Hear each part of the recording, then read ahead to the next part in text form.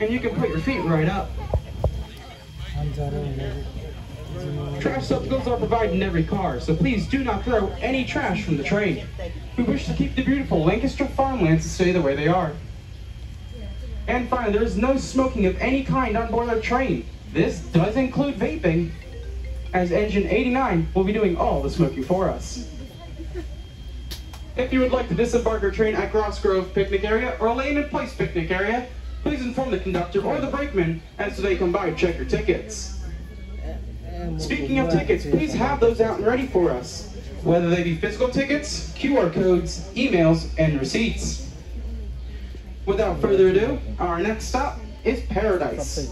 All aboard!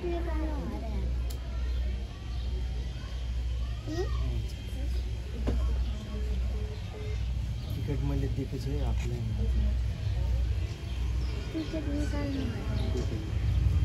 Mummy के भन्नु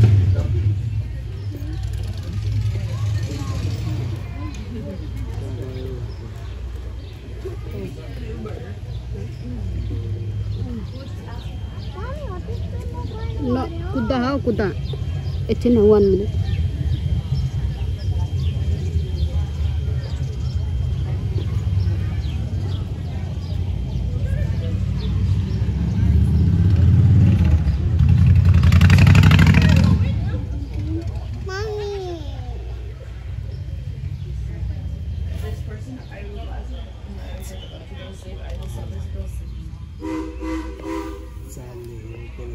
Did you hear those train whistles out there? That's the sound of history and the call to heritage. That means our journey to paradise is about to begin. So sit back, relax, and enjoy the sights, sounds, and sometimes the smells of steam railroading here in Lancaster County.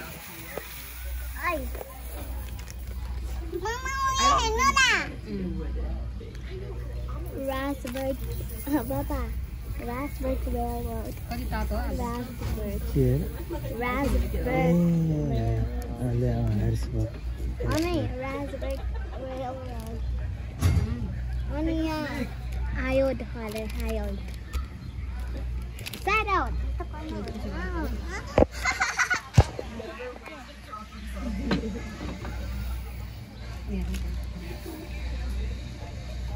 Yeah.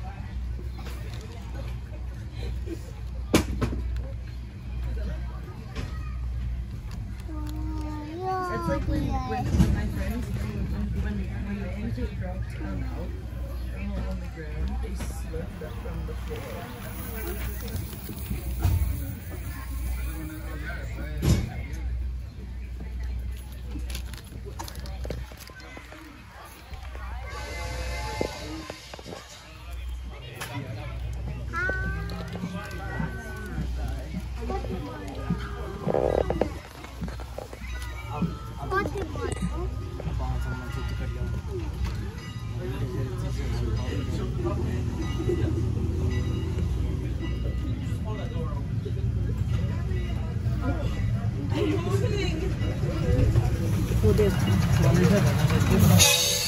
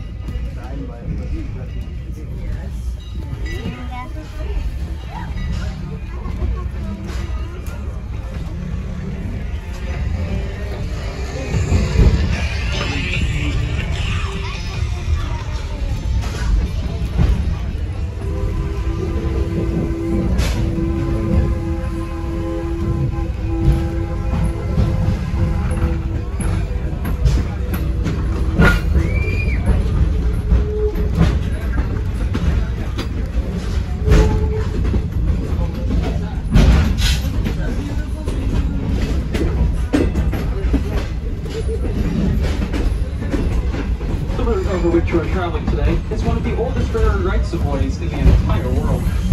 It was given to the Strasburg Railroad by an act of the Pennsylvania legislature on June 9, 1832. For almost two centuries, our little railroad has been servicing the community of Strasburg. This is not an enterprise that sprung up yesterday, folks. Many generations of passengers have boarded these coaches before you did today. Coming into view on the left-hand side of our train are some old rusty engines. These engines currently reside on what is commonly known as the graveyard track. Folks, they're not abandoned. They're just awaiting their turn at the steam restoration inside our shops, which is known for this nationwide. Coming up in the view on the left-hand side of our train, you'll see some rows of neat little cabooses. These belong to the Red Caboose Lodge, a privately operated motel where you can spend a night in a real-life caboose that used to service one of the many railroads in the United States. Just behind that, you can see the museum of the National Toy Train Collective Museum. This museum has toy trains of all shapes, sizes, colors, and ages. Toy trains ranging from the mid-1800s through today. Some of which are featured on five different operating layouts, but toy trains as small as Z-scale, all up to a seven and a quarter inch live steam locomotive. Fairview Crossing is next. Fairview.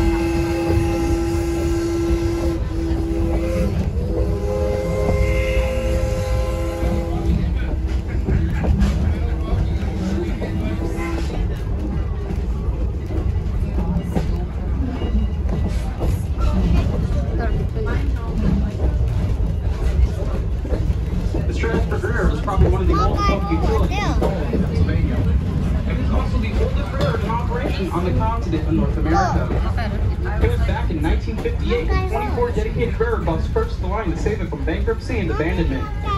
The group organized in an unusual corporate fashion way with one president and 23 vice presidents. They all donated their time, their money, and much hard work, strictly as labor of love for the fun of railroading. Back in 1958, we only had one little small engine, which was a 20-ton gasoline Plymouth engine. She's number one, and we named her Little Red. Back then, we also only had one little car. That was car 58. As you can see, we have grown to a much larger size, with us now having 16 locomotives and over 20 different cars and passenger service, and not to mention our freight service that we use to the nearby farms. Coming into view on the left-hand side of our train, you'll see some large white buildings. These buildings belong to the Esbenshade Turkey Farm. It is billed as Yeah, the oldest turkey farm in all of the United States, as verified by. Poultry World magazine. Now, folks, that is a real magazine, and it is a very busy place. November and December is an especially good time not to be a turkey on this farm. Because if you were, you'd be gobbled up.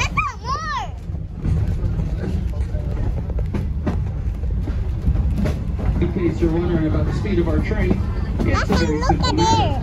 The oldest timetable found for line was in the Strasburg Bee newspaper, dated of August 1852. We still follow that same basic schedule to this day, so if you ever wondered how fast did great grandpa travel, well, this is it. Definitely somewhere under 60 miles an hour. Esmond Street Crossing is next. Esmond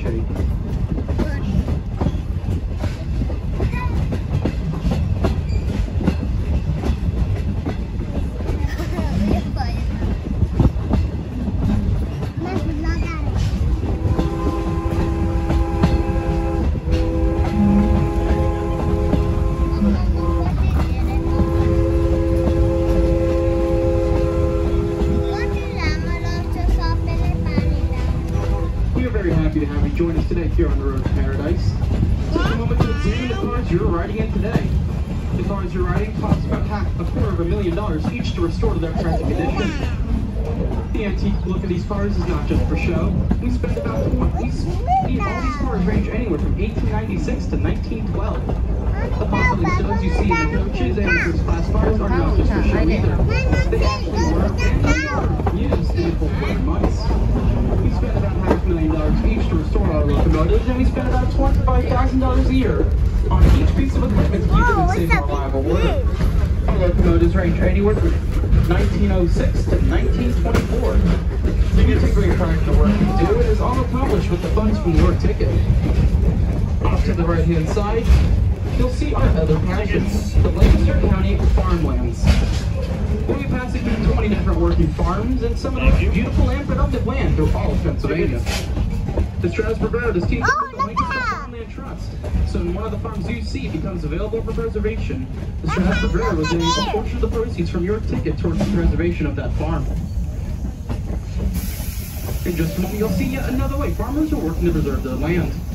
Road 741 off to the right-hand side was originally a Conestoga wagon trail, built in 1710.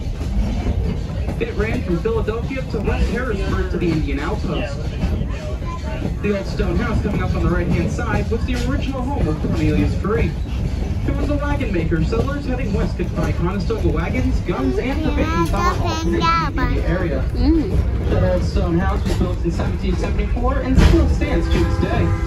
It is now part of Cherry Crest Adventure Farms, which borders both sides of our tracks.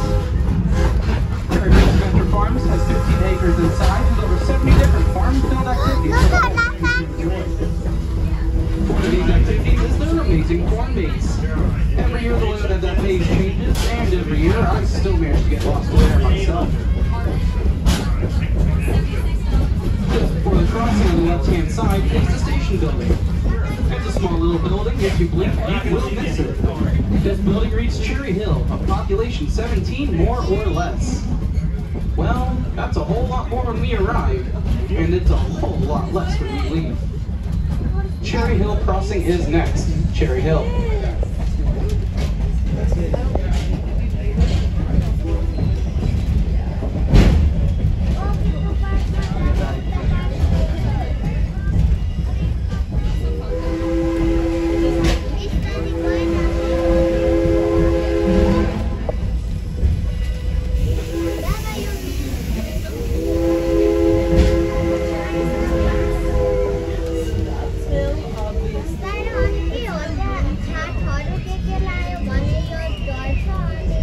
In just a few short moments, we'll be passing Groff Grove's picnic area. We will not be stopping for passengers in this direction. However, when two trains are running, we stop here to meet the other train. Strasburg Road is probably one of the last places left in the entire world where you can still get two steam passenger services on, on track at the same location on a regularly scheduled basis. What the heck? How did it? In the valley off to the right-hand side is a typical Lancaster County Amish farm. Neat, clean, but very plain. There are no carpets, no curtains, no electric lights, no radio, no television, no telephone, no internet, and no automobile. The farmer drives a buggy, and there are plenty of big workhorses, mules, and willing hands to help with the hard work of farming. In addition to dairy cattle, the produce consists of corn, wheat, rye, hay, soybeans, alfalfa, and the famous Lancaster County broadleaf tobacco. Mm-hmm. These are a peaceful and prosperous people, contributing greatly to the farm economy of Lancaster County. We are very proud to have them as our neighbor.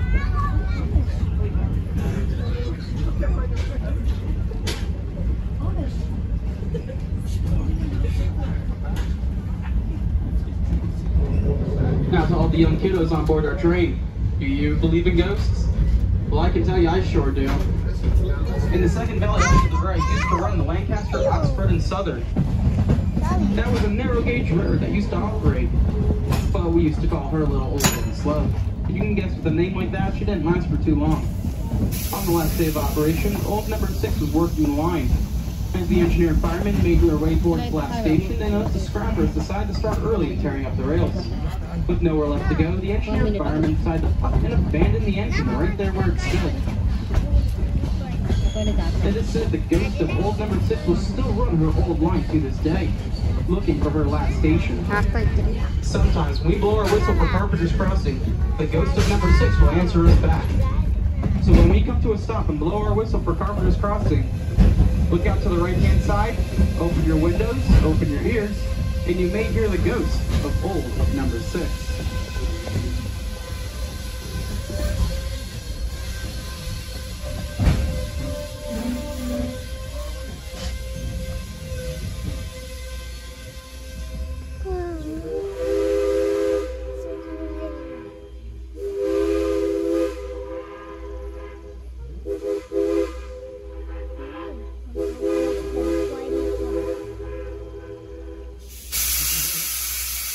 Folks, did I just hear someone say echo?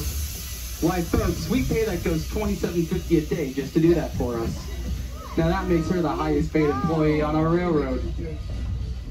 Now, nobody's ever seen that ghost, but somebody keeps cashing us paychecks. Speaking of ghosts, is anyone for the graveyard? Carpenter's Crossing is next. Carpenter's. Sana naman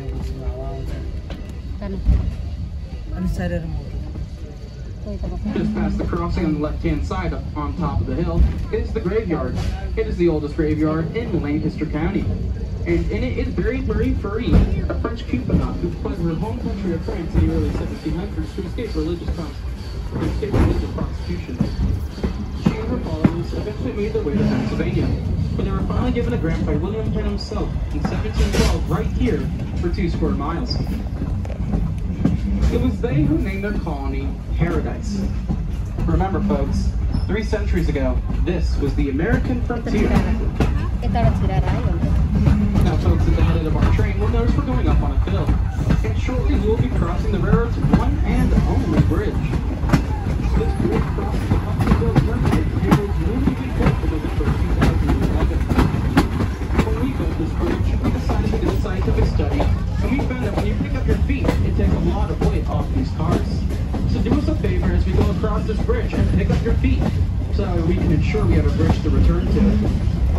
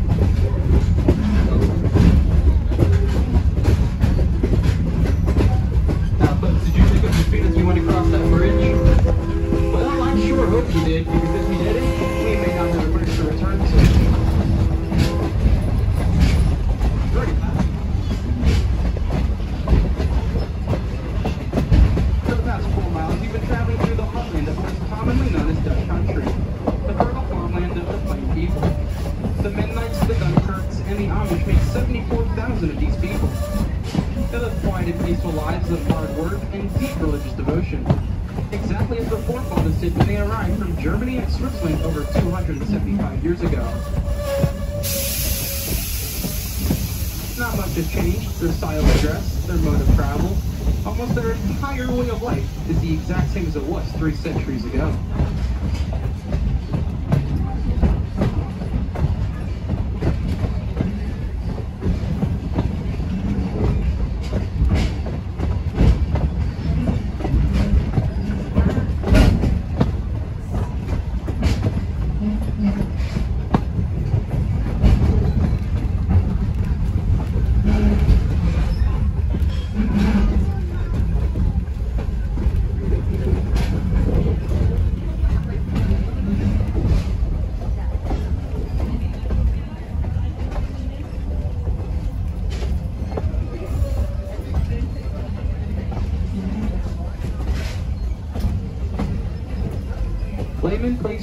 Is next, where the main line of Strasburg meets the main line of Amtrak. Our track will begin to curve sharply to the left as we come alongside tracks that were once the Pennsylvania Railroad's main line from New York to Chicago.